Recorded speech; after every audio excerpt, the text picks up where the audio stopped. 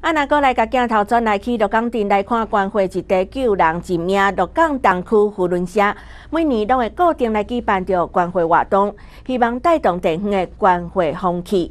十八号迄天哦，就吸引着五百多名的民众参加。主办单位嘛准备真丰富的关会礼品，送予比起千五献爱心的民众。鹿港东区扶轮社举办一年一度的关怀活动，透早六点外，真侪乡亲拢来体育场排队等关怀。乡亲尤其抢五，唔惊尖头，关注一地一地的血。因为捐血是救捐血自己的一点点血，可是会救无数之人啊，让帮助的人更广啊。那当然是建议大家踊跃来捐血啊，是一个真有意义的工程哦。啊，我嘛会知影。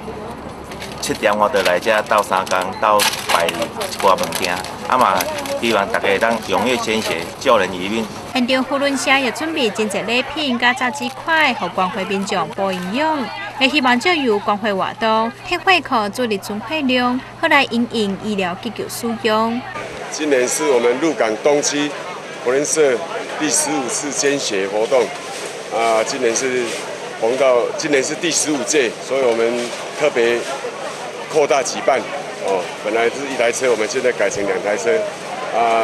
也感谢我们所有的捐血人，啊，也感谢我们所有的舍友，啊，都来共襄盛举啊！也大家都来关怀社会啊，做爱心。刚好啊，这当铺里下，还有杨社长吼，带领啊，咱所有的这社友以及社友夫人吼，你在伫咱体育场来举办啊，你这个啊捐血的活动，会当讲吼，啊，咱所有的当铺一下，所有在社友以及吼，还所有在安尼社友夫人哦，全体的一个出动。爱当红带动吼，爱等这捐血，把爱吼，把这种大爱能够散播在人间吼，这是就非常有意义的这个代志。鹿港镇长柯志宏也特别来关心公会活动，感谢鹿港东区胡伦社的公益付出。两台光火车就停伫咧鹿港体育场头前，一天落来总共退会库募集到五百二十六地货，希望透过活动抛砖引玉，鼓励当年以及少年民众养成定期关会做人的好习惯。多张华新闻林桂英鹿港采访报道。